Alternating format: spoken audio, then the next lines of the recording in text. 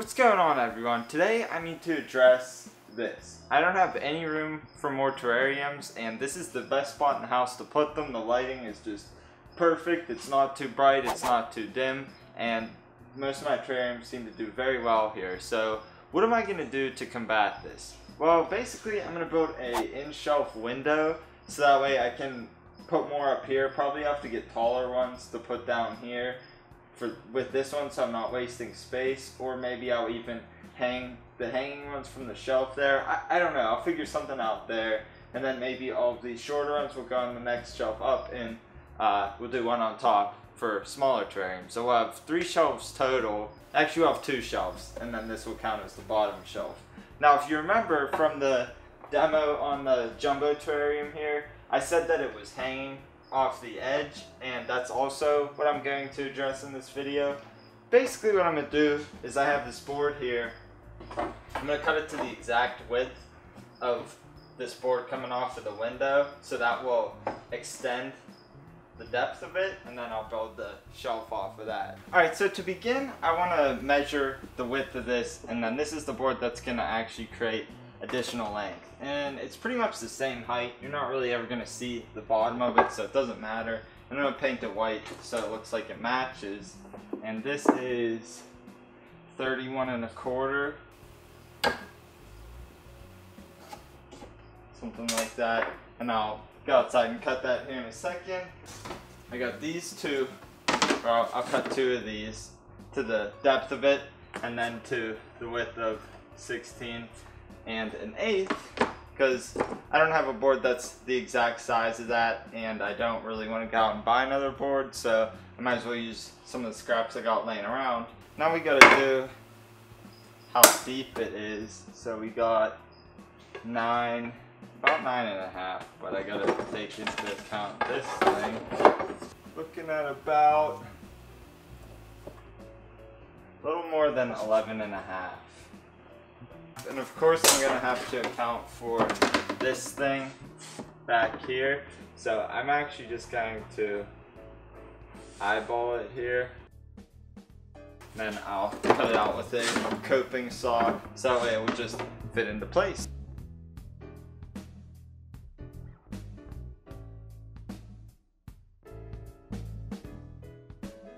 First, I'll test this board. I already did and I know that it fits perfectly, so there we go. It is the exact size, which is good.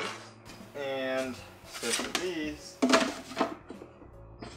so that piece will get cut out. Chances are I'll probably have to trim a little bit off these. Yep, my measurements were whack.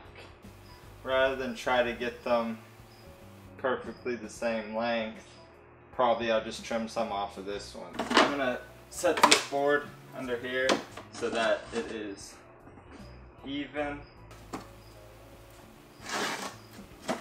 looking at roughly, how much Yeah, we're looking at roughly like about an inch that I gotta cut off. So I'm gonna go trim this. So with any luck, they should fit now. And yeah, I'm pleased with that. It's not exactly flush, it's a little bit smaller, but that's alright. Uh, so that way it's not bumming off the sides. This is lined up perfectly. So what I'm gonna do now is cut that out with the coping saw so that way we can see how this really fits.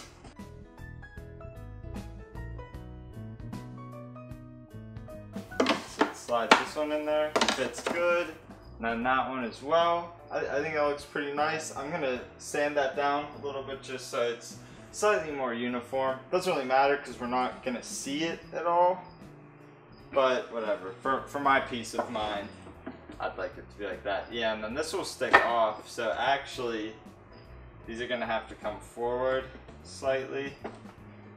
But that's alright. So it's gonna look something like that. We'll paint it white. And then I'll probably sand down the front just so it looks uniform.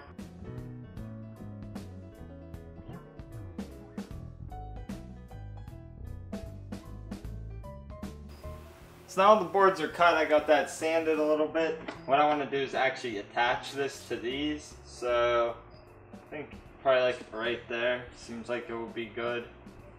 And like I said, I'll sand it later on. So I'm going to pull this out slightly and put some wood glue on it. just like that.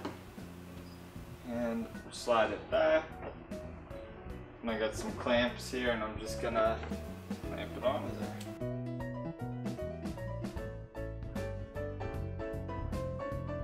Alright, and then now I can remove this from here. Hopefully I got a little bit of wood glue on there. Let me move this elsewhere. I'm just gonna clean this off real quick. Okay, so that's good.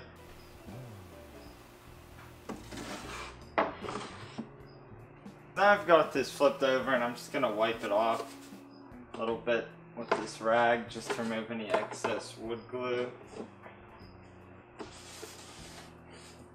And I'm going to put more clamps on.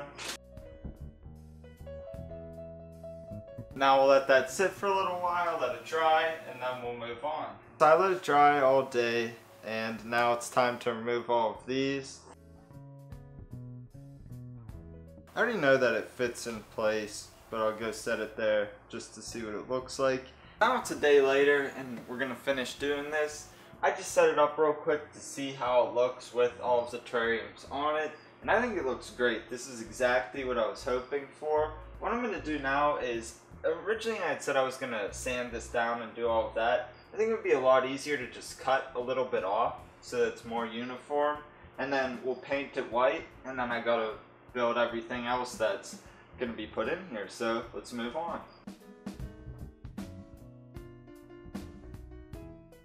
That's perfect. That's as good as it's gonna get unless I really come in here and sand it down and everything like that. But to be honest, I don't feel like taking the time to do that because this is not going to be something that's permanent. I'm only using this while I still live at this house, but you know, I think it looks great.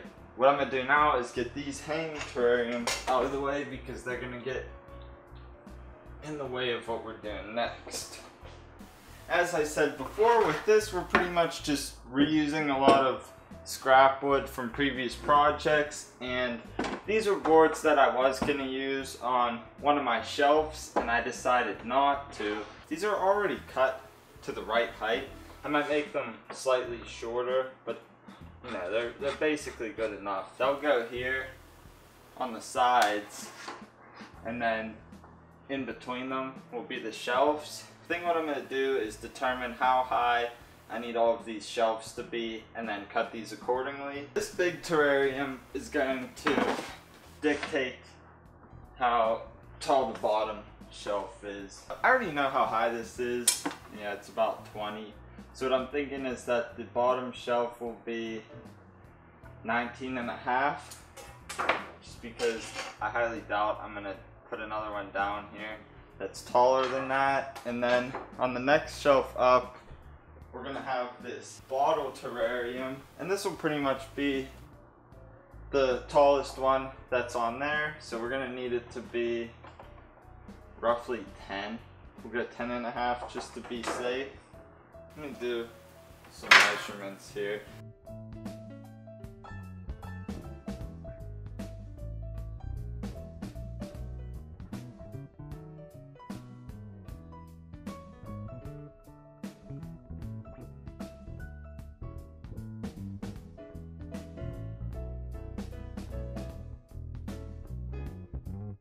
So now I'm ready to make the actual platforms that will go on this shelf. And what I'm going to do is just get the full width measurement of this and then subtract these from it and use that width. So as is, it is 31 and 1 8 inches wide and each of these is 3 quarters of an inch. So we will subtract one and a half inches from that Okay, so 29 and believe that's 3 eighths, or no, four, I don't know, 5 eighths. I believe that's 29 and 5 eighths off too. So now I've got all of my boards cut, and when it's put together, it's gonna look pretty much just like this. This shelf's probably gonna be about there, let's see. Has to be 20 inches tall. That was pretty close. So yeah, it will look like this, and something that I remembered as I was cutting the boards is that this one actually needs to be the exact width of that piece that's on the bottom and then this one's smaller because it obviously it's sitting on top. So what I'm going to do is I'm going to make measurements on the side here then on the outside so I can get it prepared to put in the screws and obviously I'm going to do that.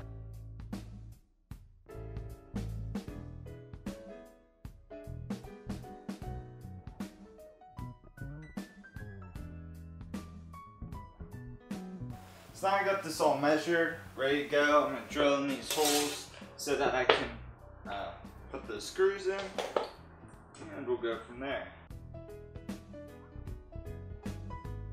So now what I'm gonna do is take these boards out from underneath of here that I had to keep that elevated so I didn't drill into the floor and set these side by side and get this this board in between here. And I've got these clamps here. I'm just going to clamp it into place to make it easier for me whenever I'm trying to get these screws in. I'm going to drill through the holes once more just to kind of get this board primed a little bit and then I can put in the screws.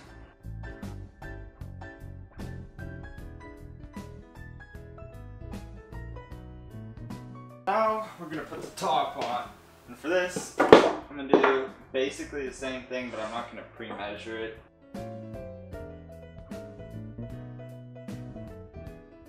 Now I'm gonna drill in from the sides here. I don't really care if they are symmetrical. Because you're not, like I said before, you're not gonna see them, they're on the top.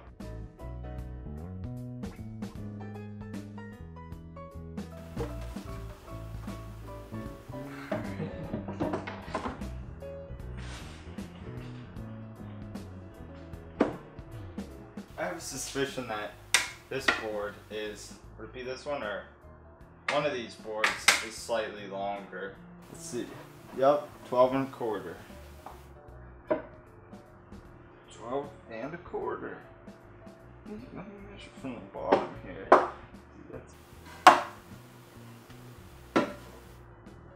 I don't know guys, this is, this is bizarre.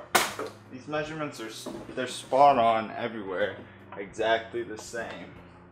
So all I want to do real quick is just make sure that these are level. Stick it right in the center there and I would say that that is pretty much level. And close enough. Alright, doesn't need to be perfect. Like I said, this is only temporary. So what I want to do now is attach this to the um, bottom of this. So what I'm going to do is make sure it is flush the wall. and I'm to put a little line here. So I've got the main piece sitting on the bottom. I got those lines, of course, so I'm going to set this on top of here. I'm to do one side at a time.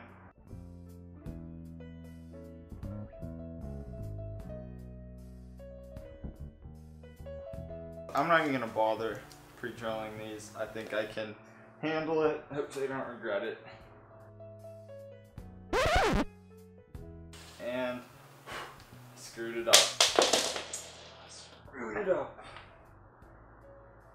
I could probably pound that back in place. Alright, I'm gonna drum.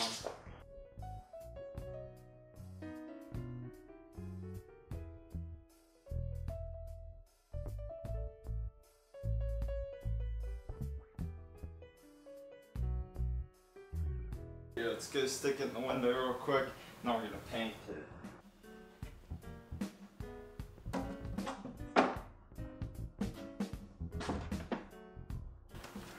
there it is. There's a little bit of weirdness here. I think I'll just drill it into the wall to keep it straight, but let's go and paint this thing.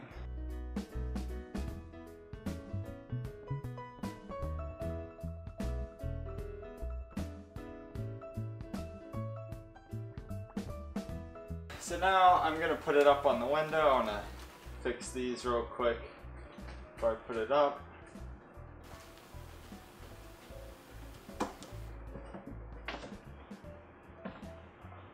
So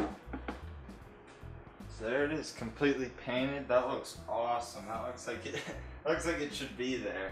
The only thing is, let me see. I kind of want to screw it into the walls just to make sure that it's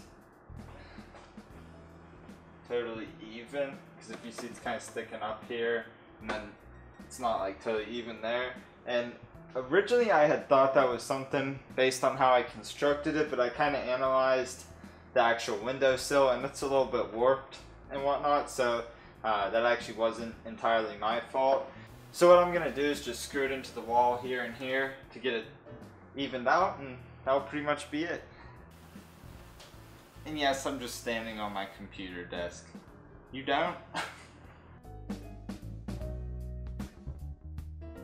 I'm gonna paint over the screws here just so that it looks, you know, looks pristine. But I really like that. I'm gonna go and paint these and we'll go from there. So now this is it, completely done. It's all dried in place, it's not going anywhere. So now I can finally put the terrariums on it. Obviously, the setup I'm going to do now isn't going to be complete, and I'll probably rearrange them as I make more terrariums, but I'll put them in a way that I feel looks good. So obviously this, obviously this big one's going on the bottom, and that looks great. It's not hanging off the edge. There's enough room for it to fit up here and it's not too close to that. That was why I actually added an additional inch onto here just so that it wasn't so close to it. And I think I want to put, what was this? I think it was like, yeah, or, hmm, can't remember which way this was facing, but I'll put this one there and the bottle terrarium Violet Redemption was. So I'll put that one close to there. That looks awesome. I'm gonna put this one here. That's where it was originally.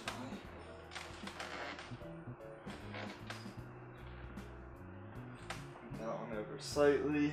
And I still definitely want my hanging terrariums up here, so I think what I'll do is just make this extremely short.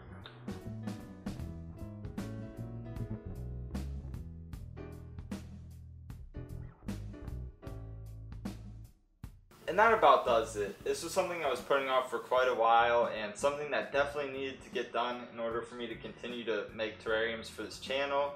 That said, you're probably thinking, where's all your other terrariums? I know that you made a lot more than this. Well, all the other ones are up in my bedroom and they're all doing very well. I just you know, don't want to show them in this video, and I'm not putting them on this shelf. Now, there's a lot of terrariums specifically that you guys keep asking me for, and be patient with me. I'm going to do them all on time, as I think you guys have seen because I just uploaded that moss video. I do take your suggestions, and I always intend to answer them in a video format. Of course, it's just I don't always have the time to get on them right away. But in time, I do hope to answer all of your questions and I do the best that I can. So I definitely appreciate your patience. I'm only one guy, and to keep all this going and to maintain it all is a lot of work, but I enjoy doing it. So, anyways, I appreciate all you who watched, and if you give me that thumbs up, I would really appreciate it.